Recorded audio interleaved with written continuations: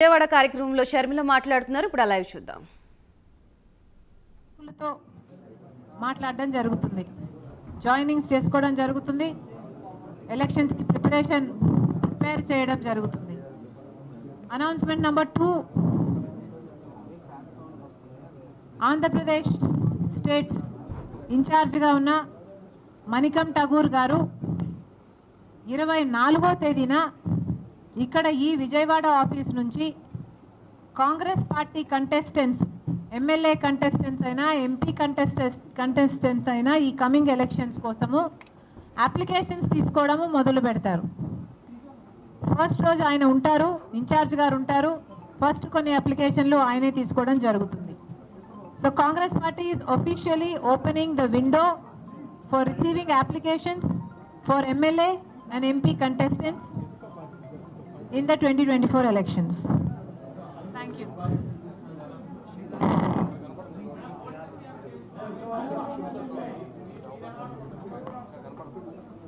I am very happy to be in Andhra Pradesh.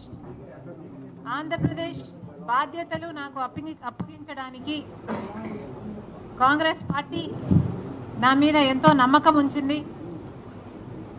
ఈ నమ్మకాన్ని వమ్ము చేయకుండా కాంగ్రెస్ పార్టీని బలోపేతం చేయడానికి రాజశేఖర రెడ్డి గారి చివరి కోరిక రాహుల్ గాంధీ గారు ప్రధానమంత్రి కావాలి అని. ఇటీవల కాలంలో నాకు గట్టిగా ఈ అంశం పదే పదే గుర్తు రావడం ఎందుకంటే మణిపూర్ లాంటి ఘటనల వల్ల మన దేశానికి బీజేపీ ఒక ప్రమాదమని BJP is dangerous to our country అనేది నాకే కాదు చాలా మందికి అర్థమవుతున్న విషయం. కనుక రాజశేఖర్ రెడ్డి గారు ఎప్పుడో చెప్పిన మాట పద్నాలుగు సంవత్సరాల కింద రాజశేఖర్ రెడ్డి గారు రాహుల్ గాంధీ గారు ప్రధానమంత్రి కావాలి అని కోరారు. ఆ మాట ఈ రోజుటికి ఎంత వాస్తవం అవుతే ఎంత బాగుంటుంది అని ఈ రోజుటికి కూడా నాతో పాటు ఎంతో మంది భావిస్తున్నారు. ఎందుకంటే only the Congress party is the largest secular party of this country BJP party లాంటి రైటెస్ట్ పార్టీలు అధికారంలో ఉంటే మణిపూర్ లాంటి ఘటనలే జరుగుతాయి. బీజేపీ పార్టీ ఇప్పటికే ఆంధ్ర రాష్ట్రానికి చేయాల్సిన అన్యాయం అంతా చేసింది. స్పెషల్ స్టేటస్ ఇవ్వకపోవడం అయితేనేమి పోలవరం నెగ్లెక్ట్ చేయడం అయితేనేమి అమరావతి విషయంలో చిన్న చూపు అయితేనేమి వైజాగ్ స్టీల్ ప్లాంట్ ప్రైవేటైజేషన్ అయితేనేమి సంవత్సరానికి రెండు కోట్ల ఉద్యోగాలని చెప్పి మోసం చేయటం అయితేనేమి రైతులకి ఆదాయం రెట్టింపు చేస్తామని చెప్పి రైతులని మోసం చేయడం అయితేనేమి? ఇలా ఒకటి కాదు రెండు కాదు అన్ని విషయాలలో బీజేపీ పార్టీ ప్రజలకు ముఖ్యంగా ఆంధ్ర ప్రజలకు ఇంకా ఎక్కువ అన్యాయం చేసింది. ఎందుకంటే స్పెషల్ స్టేటస్ స్టేటస్ మనకు వచ్చినుంటే ఆంధ్రప్రదేశ్ నిజంగానే ఎంతో అభివృద్ధి చెందుండేది.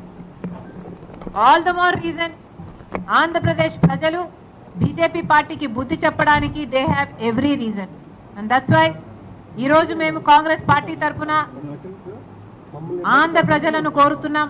ఇప్పుడు ఉన్న అధికారంలో ఉన్న వైసీపీ ప్ర- పార్టీ అయితేనేమి వైసీపీ అయితేనేమి ప్రతిపక్షంలో ఉన్న తెలుగుదేశం అయితేనేమి ఈ రెండు పార్టీలు పేరుకు మాత్రమే వేరే పార్టీలు తప్ప నిజానికి బీజేపీ పార్టీకే తొత్తులు.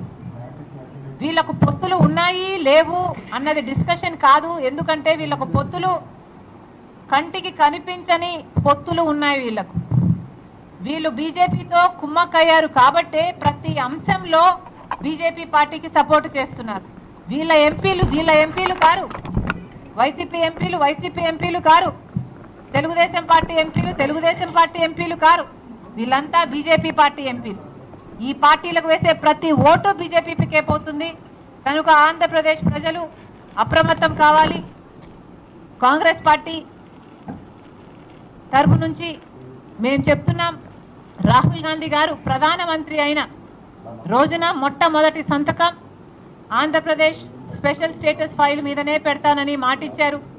దయచేసి మళ్ళీ బీజేపీ ట్రాప్లో పడకండి.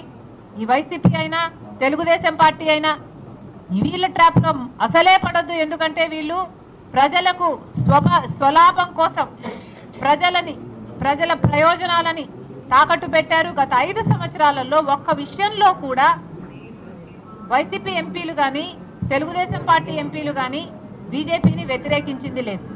ఎందుకు అని అడుగుతున్నాం. ఆఖరికి మణిపూర్ ఘటనలో కూడా బీజేపీ పార్టీని వ్యతిరేకించలేదు అంటే వీళ్ళ మాటికి బీజేపీ పార్టీతో పొత్తులు ఉన్నాయి ప్రత్యక్షంగానో పరోక్షంగానో ఏదో రకంగానో బీజేపీ పార్టీ కోసమే ఈ రెండు పార్టీలు పనిచేస్తున్నాయి కాబట్టి ఆంధ్ర రాష్ట్ర ప్రజలు అప్రమత్తంగా ఉండాలి. Thank you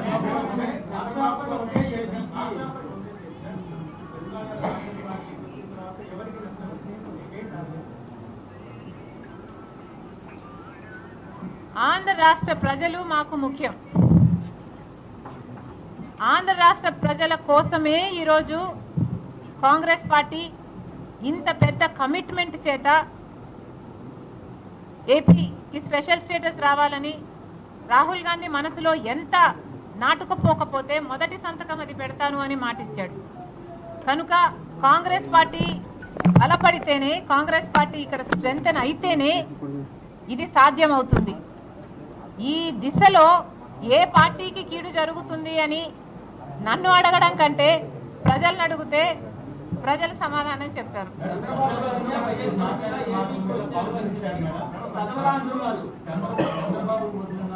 然后